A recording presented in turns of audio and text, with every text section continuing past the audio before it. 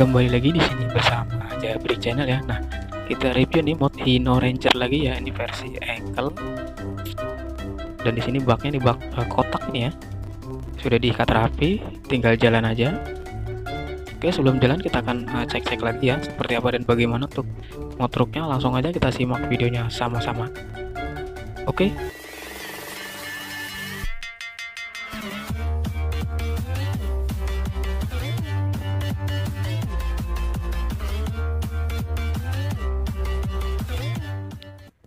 Langsung kita cek ya. Nah seperti ini untuk nyala lampunya ya tuh. Untuk wipernya aktif. Lanjut untuk buka pintu. Nah ini buka pintunya langsung ke buka ya. Pintu kanan kirinya. Untuk animasi yang pertama kita lihat. Nah ini dia untuk mencopot bagian terpalnya jadi muatannya bisa kelihatan ya. Tuh.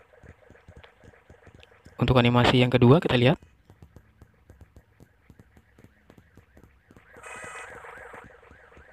Nah, ini dia nih bagian depannya itu ya. Yang ada di uh, depannya tuh atau topinya tuh ya. Nah, itu dia bisa dilepas. Oke, dan untuk animasi yang ketiga, nah ini dia untuk kepala truknya ya bisa diangkat atau dijungkit seperti ini. Lanjut ya. Nah, untuk kabinnya di sini standaran aja ya tuh ya. Tapi udah mantep. Langsung aja kita bawa jalan aja sambil nanti kita akan cek lagi ya untuk suspensinya dan juga remnya seperti apa untuk uh, motor Hino Rangernya sendiri ya. Oke, langsung aja kita gas. Lampu merah kita stop dulu. Oke, langsung kita ganti pakai kamera luar ya. Nah, seperti ini. Uh, kita gas lagi. Sambil uh, kita tes-tes di sini ya. Oke, itu ya. Ini suspensinya uh, mentul gitu ya. Cuman ribunya nggak terlalu dalam tapi termasuknya mentul ini. Untuk remnya juga mantep ya di sini. Enak gitu dilihatnya eh, uh, ribbonnya gitu ya. Bagus nih. Oke dan untuk uh, status modnya sendiri ini statusnya free ya. Dan ini liverynya sudah include ya seperti ini. Jadi nanti kalau kalian download sudah ada livery seperti ini ya.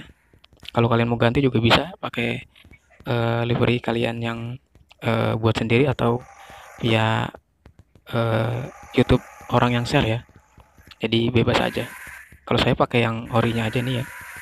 Bawaan dari uh, modnya. Oke okay, dan untuk uh, status modnya sendiri nih statusnya uh, free ya. Jadi ya uh, buat teman-teman ya yang pengen download nih mod uh, truknya langsung aja. Cek link yang saya sudah sediakan ya di bawahnya. Uh, lalu kalian klik aja lalu kalian download ya. Terus kalian coba sendiri seperti apa uh, keseruannya ya untuk dibawa jalannya ini enak ya tuh. Handlingnya juga enak ya suspensinya uh, mantep remnya juga pakem ya jadi rekomend banget ya buat kalian yang suka dengan mod versi-versi uh, jadul nih uh, langsung aja kalian download ya gak rugi juga kalau kalian download nih modnya. Apalagi kalau dibawa jalan yang agak nanjak gitu ya jadi uh, kesannya menantang gitu. Wis awas hati-hati ya. Kita belok ke kanan oke jadi eh, sekian dulu aja untuk video kali ini ya. Eh, jangan lupa dukungannya.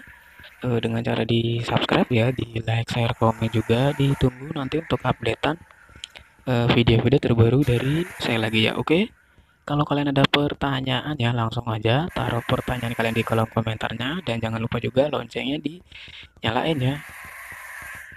Terima kasih